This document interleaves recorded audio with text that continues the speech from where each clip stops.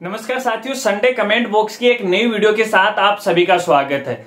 जिन साथियों ने hash tag बोलो राजगुरु जी के साथ हमसे सवाल पूछे थे, उन्हीं सवालों का जवाब इस वीडियो में मैं आपको देने वाला हूँ। अगर आपने भी कोई सवाल पूछा है तो इस वीडियो के साथ आप बने रहे। हो सकता है कि आपके सवाल का जवाब इस वीडियो में वो आपको मिल जाए। नमस्कार साथियों, मैं हूँ आपका अपना साथी राजगुरु जी और आप देख रहे हैं Raj school help YouTube channel. तो चलिए वीडियो को शुरू करते हैं, कमेंट का सिलसिला वो शुरू करते हैं। लेकिन वीडियो में आगे बढ़ने से पहले एक जानकारी आपको देना चाहूँगा। अगर आप भी ये चाहते हो कि आपके सवाल को आने वाले संडे कमेंट बॉक्स की वीडियो के अंदर मैं शामिल करूँ, लेकिन जब भी आप अपना कमेंट करो या फिर सवाल पूछो तो हमेशा कमेंट में हैश बोलो राजगुरु जी टाइप करके, उसके बाद आप अपना सवाल है वो पूछे या फिर लिखें, ताकि आने वाली वीडियो के अंदर मैं आपके सवाल को वो शामिल कर सकूँ। चलिए कमेंट का सिलसिला वो शुरू करते हैं, लेकिन सबसे पहले एक बार मैं मोबाइल है वो ओपन कर लेता हूँ। चलिए मोबाइल मैंने ओपन कर लिया, और आज का सबसे पहला जो सवाल हमने लिया है इंस्टाग्राम से, क्योंकि हमने कल आपको बताया था, जो साथी इंस्टाग्राम पे हमसे हैश बोलो राजगुरु जी के साथ सवाल पूछेंगे, उन्हीं के सवाल है, वीडियो के अंदर वो शामिल किए जाएँगे। तो सबसे पहले इंस्टाग्राम पे लिखने वाले साथी हैं, इनकी आईडी है Rahman two six seven three और ये लिखते हैं कि श्रीमान कक्षा दस के विद्यार्थी का ऑनलाइन एडमिशन नहीं किया तो अब उन्हें कैसे प्रमोट करेंगे? और रिज़ल्ट वो कैसे बनाएँगे? तो मैं यहाँ पे रहमान को कहना चाहूँगा, देखिए, यदि आपने पीएचपी पोर्टल पर कक्षा 9 से लेके कक्षा 12 तक सेशन 2020-21 में किसी भी स्टूडेंट का एडमिशन आप नहीं कर पाए या किसी कारण कोई रह गया तो फ़िलहाल आप सेशन 2020-21 में कोई भी एडमिशन आप नहीं कर पाओगे। बच्चों का ना तो आप प्रमोट सर्टिफिकेट है वो निकाल पाओगे और ना ही इस टाइम है वो एड है वो कर पाओगे। हालाँकि विभाग के द्वारा इस बारे में फ़िलहाल कुछ भी नहीं कहा गया है। हालाँकि ये जो समस्या है, काफ़ी सारे स्कूल साथियों के, बहुत सारे ऐसे स्टूडेंट हैं, जिन्होंने पिछले सेशन में पीएचपी पोर्टल पर वो एडमिशन नहीं कर पाए या उनको एड वो नहीं कर पाए तो समस्या लगभग काफ़ी सारे स्कूल साथियों की, फ़िलहाल इसका कोई भी समाधान नहीं है। इसके बारे में शिक्षा विभाग के द्वारा कोई नई गाइडलाइन या नए दिशा निर्देश आएँगे तो आगे के वीडियो के अंदर मैं आपको जानकारी दे दूँगा, लेकिन भैया, फ़िलहाल इसका कोई भी समाधान नहीं है। देखते हैं आगे इसका क्या समाधान निकलता है। चलिए। अगला कमेंट लेते हैं और अगला कमेंट भी हमने इंस्टाग्राम से लिया है। और लिखने वाले हैं जिनकी आईडी है I Pradeep two three four five six seven और ये लिखते हैं कि, सर, मैंने ट्वेल्थ क्लास में इंप्रूवमेंट किया है, लेकिन कॉलेज में पुरानी मेन एग्ज़ाम की मार्कशीट ही लगाई है। सर फ्यूचर में कोई इश्यू तो नहीं है? तो मैं यहाँ पे प्रदीप को कहना चाहूँगा, देखिए, अगर आपने इंप्रूवमेंट की मार्कशीट नहीं लगाई है, पुराने वाली लगाई है कॉलेज के अंदर तो यहाँ पे आपको कोई भी दिक्कत नहीं आने वाली है, क्योंकि वह भी जो मार्कशीट है, वो बोर्ड के द्वारा जारी की गई है, और आपने इंप्रूवमेंट की मार्कशीट नहीं लगाई। हो सकता है कि आप आगे भी जब ये सेशन शुरू हो जाए, जब आप कॉलेज में जाओ तो पुराने वाली को हटा लेना और उसकी जगह नहीं लगा देना, लेकिन फ़िलहाल यहाँ पे कोई दिक्कत नहीं आने वाली तो आपको टेंशन नहीं लेनी। चलिए, अगले साथी का कमेंट लेते और अगले साथी लिखने वाले ईश्वर सिंह सैनी जी, और सैनी साहब लिखते हैं कि सर, मान्यता एकीकरण में हमारे पास आर्ट्स, कॉमर्स और साइंस की है, लेकिन हमसे कॉमर्स सब्जेक्ट ऐड नहीं हो पाए और इसके लिए क्या करना होगा? प्रोफ़ाइल अपडेट में कॉमर्स सब्जेक्ट को सिलेक्ट नहीं कर पाए, इससे आगे मान्यता की कॉपी स्कैन करते हैं, चढ़ाते हैं तो वहाँ पर कॉमर्स सब्जेक्ट को नहीं ले रहा है। इसके लिए कोई उपाय बताए? तो देखिए, सैनी जी, मैं आपको कहना चाहूँगा, हालाँकि मैं बता देता हूँ सैनी जी के बारे में सैनी जी, अपने राजस्थान के अंदर बहुत सारे स्कूलों का काम है, वो एक साथ करते हैं। और काफ़ी ट्रस्ट ये मुझ पर करते हैं। और बहुत बार इन्होंने सवाल है, वो भी पूछते हैं, मैं इनके सवाल का जवाब है, वो हर बार देने की कोशिश करता हूँ। तो सैनी जी, देखिए, मैं आपको कहना चाहूँगा यदि ऑनलाइन एकीकृत मान्यता वाले पोर्टल पे फ़िलहाल कोई गलती रह गई है।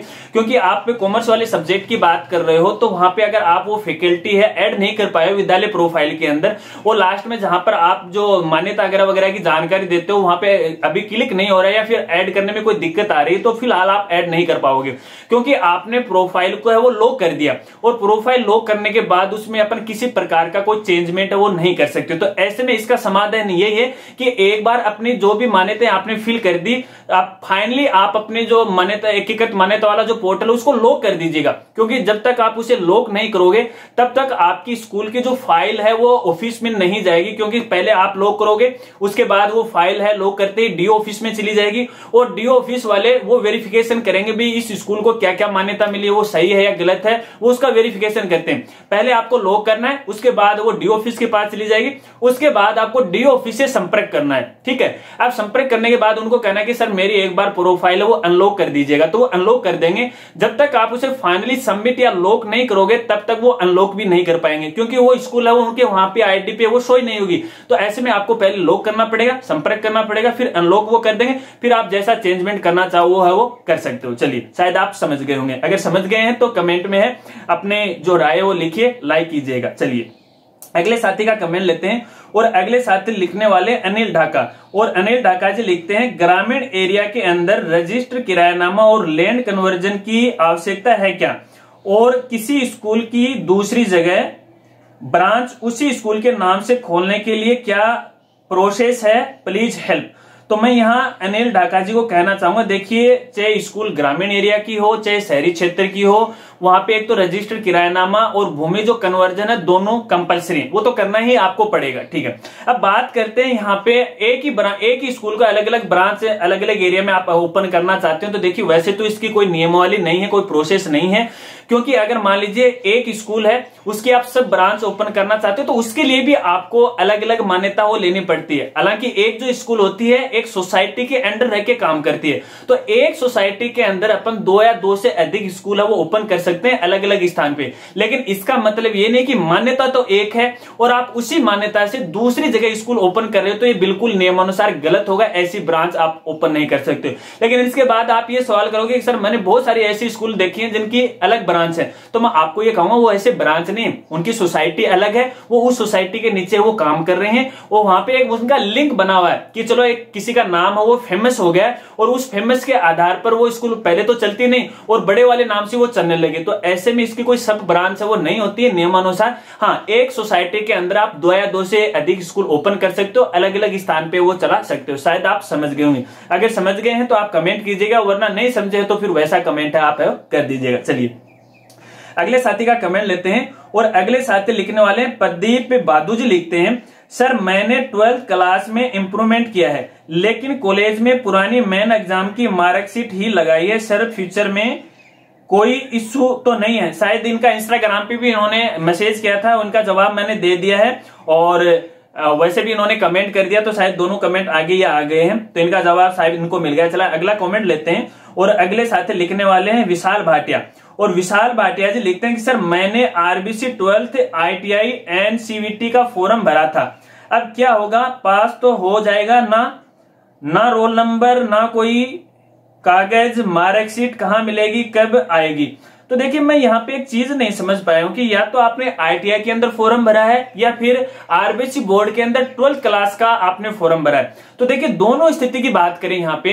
अगर आरबीसी बोर्ड की बात करें तो वैसे आरबीसी बोर्ड ने कक्षा दस और कक्षा बारह के स्टूडेंट को बिना परीक्षा के आगामी कक्षा में प्रमोट कर दिया। अब कैसी मार्कशीट आएगी? मार्क्स का सिस्टम कैसा रहेगा? ये तो एक अलग बात है, क्योंकि इसके लिए अभी तक बोर्ड के द्वारा कोई भी नई गाइडलाइन वो जारी नहीं की गई। इसके बारे में आगे की वीडियो में मैं जानकारी देता रहूँगा, जैसे ही कोई नया अपडेट आएगा।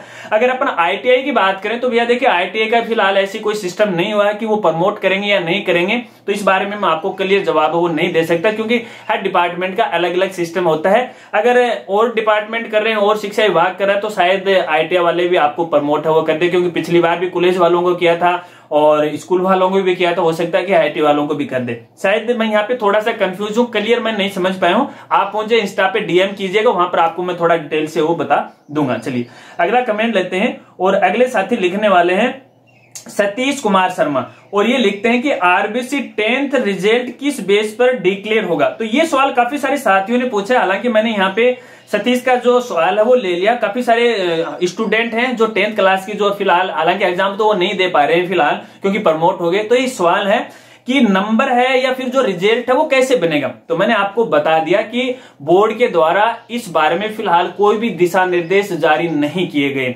अब जैसे उनके नए दिशा निर्देश आ जाएँगे तो जहाँ तक मुझे लगता है कि ये जो अथॉरिटी है वो स्कूल वालों को देंगे। स्कूल वालों से कुछ नंबर बेस है वो मांगेंगे, जैसे कि सीबीएसई बोर्ड ने मांगे हैं, उसी हिसाब से। अब देखते हैं कि क्या नया फैसला है बोर्ड के द्वारा लिया जाता है। लेकिन आपको यहाँ टेंशन नहीं लेनी जब आपको प्रमोट ही कर दिया है तो मार्कशीट भी है, बोर्ड आपको देगा। अब परसेंटेज की तो बात यहाँ पे नहीं रही किसी पे लागू ही नहीं होती। टेंशन आपको नहीं लेना है नई कोई जानकारी आएगी तो आगे की वीडियो के अंदर आपको जानकारी मिल जाएगा। चैनल सब्सक्राइब नहीं किया तो कर लेना बेल आइकन है वो दबा लेना और नोटिफिकेशन उसे भी ऑन कर लेना, ताकि वीडियो का जब कोई नया अपलोड करो तो नोटिफिकेशन वो आपको मिल जाए। चलिए, अगले साथी का कमेंट लेते हैं, और अगले साथी लिखने वाले हैं, राम नारायण एम मास्टर है या एम एस टी आर जो भी है, और ये लिखते हैं कि ऑनलाइन पढ़ाई नहीं कराई है, वे क्या भरे? तो यहाँ पे मैं राम नारायण जी को कहना चाहूँगा देखिए, आप सबको पता है कि पीएसपी पोर्टल पर हमें कक्षा एक से बारह तक के स्टूडेंट की ऑनलाइन क्लास की एंट्री करनी है। तो ऐसे में बहुत सारे स्कूल साथियों की बड़ी समस्या आ गई कि उन्होंने तो ऑनलाइन क्लास वो किसी भी माध्यम से नहीं ली। तो यहाँ पे एक कंफ्यूज की स्थिति हो गई है। तो देखिए, वैसे तो विभाग के द्वारा केवल ऑनलाइन क्लास की जानकारी मांगी ऑफलाइन क्लास की जानकारी नहीं मांगी। लेकिन आप चाहो तो वहाँ पे देखिए ऑनलाइन क्लास के अलावा दो और अदर ऑप्शन आ रहे हैं। उसके अंदर आप जिस माध्यम से, जैसे कोई वर्क बुक है, या फिर आप घर घर जाके पढ़ाए कैसे, वैसे लिख दो। हालाँकि इसका क्या समाधान आएगा, वो तो भैया शिक्षा विभाग को पता है, इस बारे में स्पष्ट गाइडलाइन नहीं है। और क्या समाधान निकालता है, वो भी मुझे इस बारे में नहीं पता, क्योंकि विभाग के द्वारा तो कुछ कहा ही नहीं गया। बहुत सारे स्कूल साथियों की ये समस्या आ रही है कि ऑफलाइन वालों का क्या होगा। तो भैया, इस बारे में मैं आपको क्लियर जवाब नहीं दे सकता, जब तक विभाग की नई गाइडलाइन नहीं आएँगी। क्योंकि पोर्टल पर केवल ऑनलाइन क्लास की जानकारी मांगी। हाँ कहने के तौर पर आप वैसे ऑफलाइन की अगर आपने पढ़ाई करवाई है ऑफलाइन तो जैसे आप लिख दो कि हमने वो घर पे जाके वर्क बुक वैसे लिख दो लिंक डालने की कोई आवश्यकता नहीं है। अगर बगैर लिंक के कोई काम नहीं ले रहा तो व्हाट्सएप का लिंक डाल दो। देखते हैं कि आगे क्या विभाग है, वो काम लेता है या क्या नए जो दिशा निर्देश वो जारी करते हुए तो आगे की बात है। लेकिन यहाँ पे आपको टेंशन नहीं लेनी है।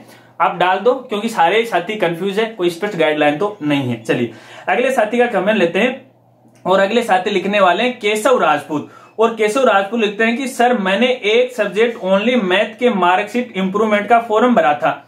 तो क्या हमारे मार्क्स भी बढ़ेंगे? तो देखिए केसो में आपको कहना चाहूँगा, फ़िलहाल बोर्ड के द्वारा इस बारे में कोई गाइडलाइन नहीं जारी की गई।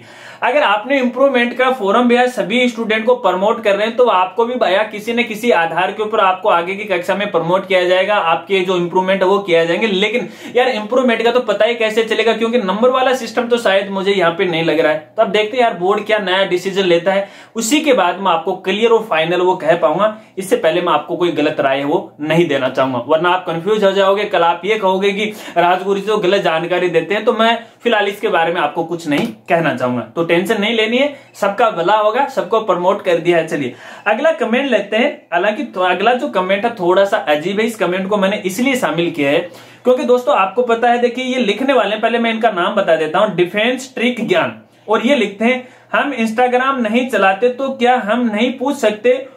ओके, ये उम्मीद नहीं थी।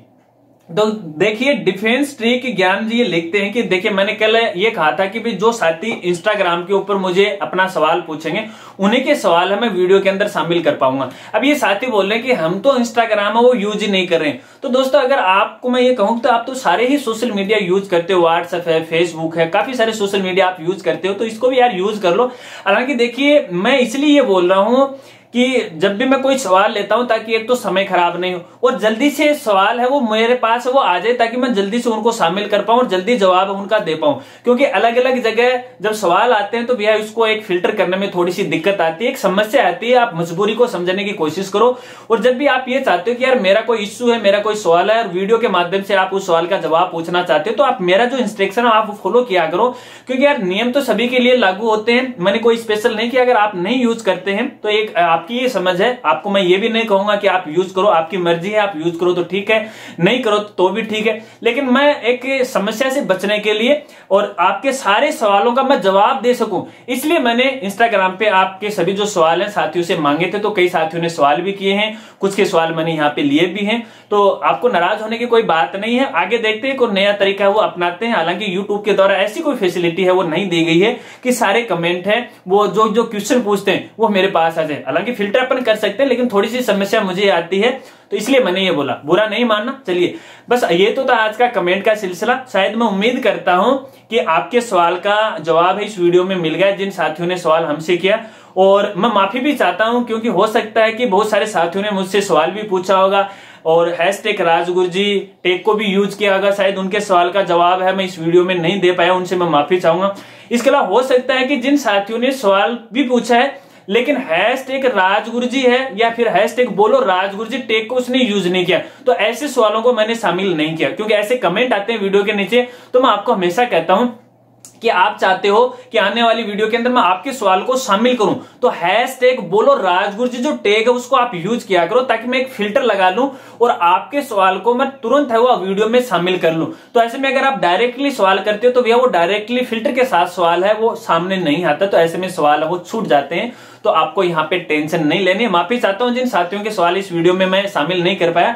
आगे की वीडियो में शामिल करने की पूरी पूरी कोशिश करूँगा। बताना आज की वीडियो आपको कैसी लगी? अगर वीडियो आपको अच्छी लगी तो वीडियो को लाइक कर देना और चैनल पर नए हैं तो चैनल को भी सब्सक्राइब वो कर लेना। तो मिलते हैं फ्रेंड्स अगली एक नई वीडियो के साथ। तब तक के लिए जय हिंद, जय भारत।